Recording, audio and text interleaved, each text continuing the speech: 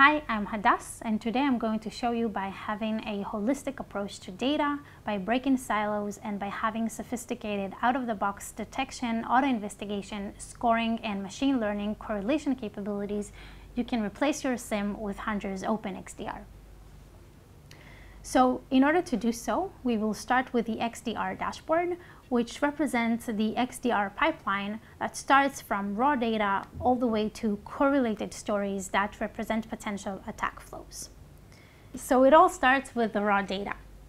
We are ingesting any types of data sources at any scale necessary, either with an API or from an S3 bucket we ingest that data into Snowflake Data Warehouse, um, normalizing and structuring the data for an easy to query investigation and also to allow the machine to interpret any type of data. We're breaking the silos by allowing ingestion of any type of security telemetry, anything from identity to SaaS applications, cloud, EDR, and other on-premises tools, etc. The ingestion, ingestion to hunters is really easy we just click here, add data flows, choose the product that we want to focus on. Of course, the source itself, let's choose another one. So we choose the product itself, um, choose the source, choose the dates in case that we want to ingest also retro um, actively. And that's it. That data is now in Hunters. Now, as you can see, Hunters supports both organizational sources as well as global sources.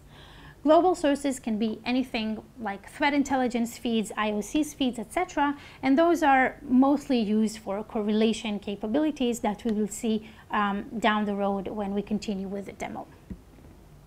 When we say that we have data connectors, the important thing to note here is that Hunters does not only support any type of telemetry and logs for ingestion and collection capabilities, but also for detection. So for example, if we are saying that we support AWS CloudTrail, that of course means that you can ingest that type of data and that Hunter supports that from a schema perspective, but it also means that we have detection capabilities that basically take a cyber thesis that was examined by our security researchers and that there is a detection and a rule capability out of the box that basically looks for a suspicious activity across that specific telemetry in real time using Hunter's XDR. And that's exactly the detection phase that we basically see here. Taking raw data, taking hundreds of terabytes and basically investigating those with the detection capabilities means that now there are signals that represent potential suspicious activity um, as per Hunter's out-of-the-box detection capabilities. Those detections are mapped with the MITRE ATT&CK framework we divide that to basically enterprise, cloud, and SaaS applications. Now let's take a look um, into AWS, for example. We see here all the tactics and techniques that are supported by hunters. And if I click here, I see the exact telemetry that is needed to basically make sure that I am protected from that particular techniques perspective. Now, as mentioned, we of course support TTPs from the MITRE ATT&CK framework, but we also have Hunter's um, unique theses that have been examined by our security researchers that are represented by this H here.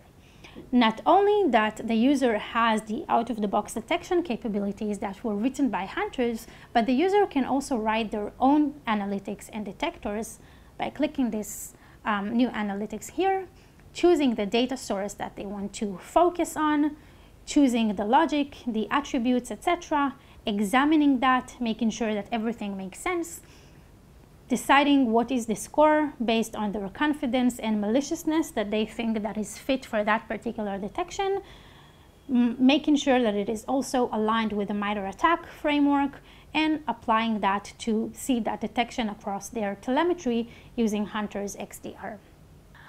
So after the analytics and the detection phase took place, we took those 29 uh, terabytes of data and ended up with 2,300 leads that represent suspicious activities across, one's environment. Now, we want to take those leads and ask different bunch of questions to basically narrow that data set that an analyst needs to investigate even more.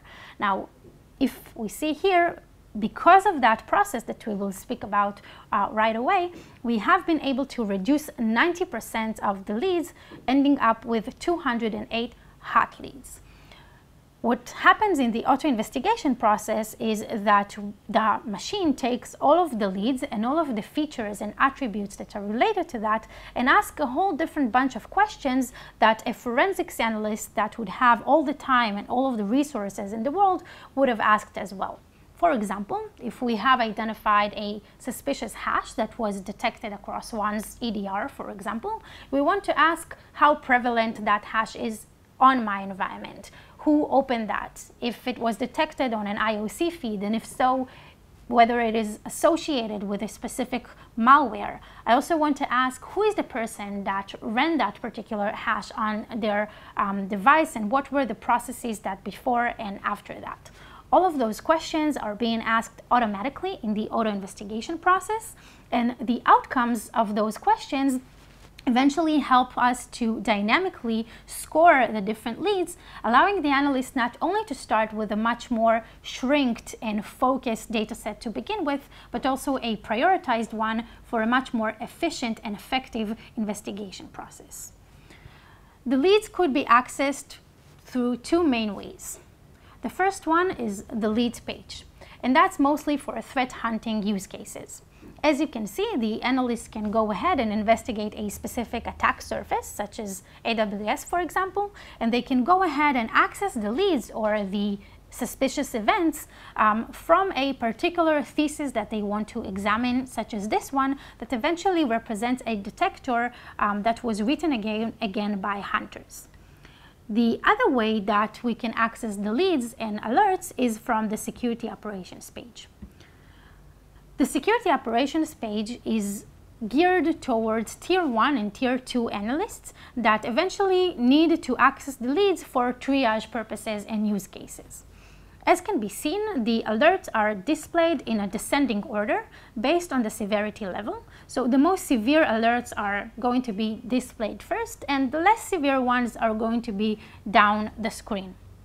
The analyst is not only able to see the source and the score that is related to a particular event, but also the description, letting them know what exactly happened, and also the outcome of the automatic investigation process that we have mentioned before.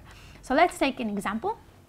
We see here that this is a CrowdStrike Falcon native detection that allows the analyst to understand what are the attributes that are related to that, what are the entities that are involved here and linked to this particular event, the score and why it was scored this way, different information that is related to the processes, enrichments, etc., that eventually would allow the analyst to go ahead and assign that if needed to one of their coworkers to decide what is the status should be of this particular event, to add their comments, etc.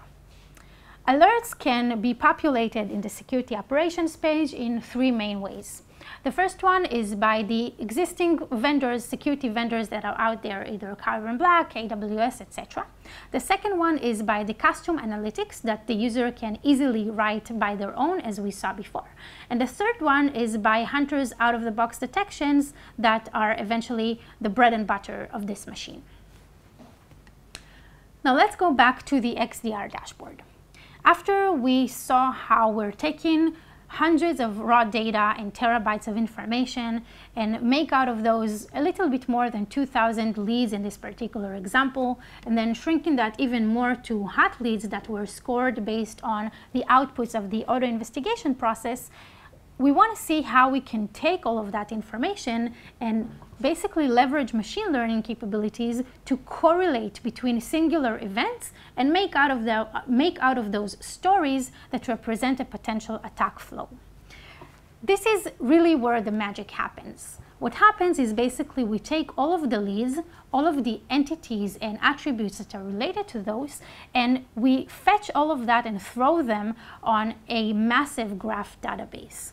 The graph database, again with machine learning capabilities, finds the relationship between all of those attributes and leads and events that were detected in the detection and the auto investigation process and finds correlation, correlations out of those basically telling a story that an analyst would be able to understand and again to make a much more effective usage of their time, which eventually helps a lot of analysts that are working with Hunters OpenXDR to reduce dwell time and also to make a much more efficient response um, with the outcomes of the stories that are detected here.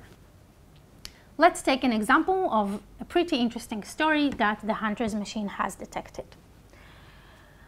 This story represents a potential credential theft by Mimikatz on a machine. So it starts with a Zscaler alert that basically um, identified an access to a pen testing website, and the alert says that there is a page risk potential threat on a particular machine. We see here that there is an access to a malicious URL on GitHub. Now, if we open to, uh, we, if we open the leads we can see that there were several attempts by the attacker to download a malicious Mimikatz file from GitHub. Most of the attempts were blocked, but there was one time that the attacker was able to bypass the security gateway and basically to download the malicious Mimikatz file. Uh, two days later, we see that the EDR was detecting threats on a machine named client CB. Now, if we open the leads here, we can filter for the specific ones that we want to see. And we actually see here in the threat description that the machine really identified the uh, attempts to invoke Mimikatz and not only that it identified that, but also it was able to block it um, as could be seen here, um, not allowing the attacker to access the malicious command line. We also extract um, the raw information from the EDR, such as bits jobs usage, which by itself is not necessarily that interesting, but because we are extracting all of the raw information from the EDR, we were able to understand that the external URL that was browsed to access the malicious command line on GitHub was actually the same one that did a, an illegitimate usage of the bits jobs, which eventually allowed the Hunter's XDR machine to understand that the access to the pentest website, which we saw at the beginning, was actually a malicious activity attempting to invoke Mimikatz and steal credentials on this machine and basically stealing the credentials of the user that is associated with this EDR agent. Now, after we've seen um, all of the detection capabilities and the auto investigation capabilities and also of course the stories that leverage the machine learning um, capabilities of hunters allowing to correlate between events I want to show also how we can leverage the entity search capability of hunters that allows not only to consume those leads and stories and events, but also to be able to search proactively across the telemetry and across everything that Hunters was able to detect. Now, this entity search allows one to not only search for a specific detection, for example, but rather for anything that comes to mind. It can be a malware, for example, it can be a process that I want to investigate, it can be a person that I want to specifically look into their activity, and basically to search for anything that would shed more light on what is going on on one's environment and telemetry. So let's take as an example the Dridex Trojan. So even if I don't know what are the particular IOCs that are associated with that, I can only write down Dridex, as can be seen here. And I see that there are IOC tags that are related to Dridex, which gives me basically an understanding that something that is related to Dridex was detected across my environment. So I can see here the IOC itself, in this case, an IP that is related to Dridex Trojan. I can see the leads that basically detected or that were relevant to this particular, um, to this particular uh, malware. And I can see the outcomes of the auto investigation process that eventually detected Dridex IOCs on different processes or um, events that happened across my telemetry. Now, I can also not only look for a specific malware, but maybe for an email address. So let's take the email address that was relevant to the story that we saw before. It was this one. So if I click on that, I can see all of the different um, events that are involving this particular email address across Hunter's XDR.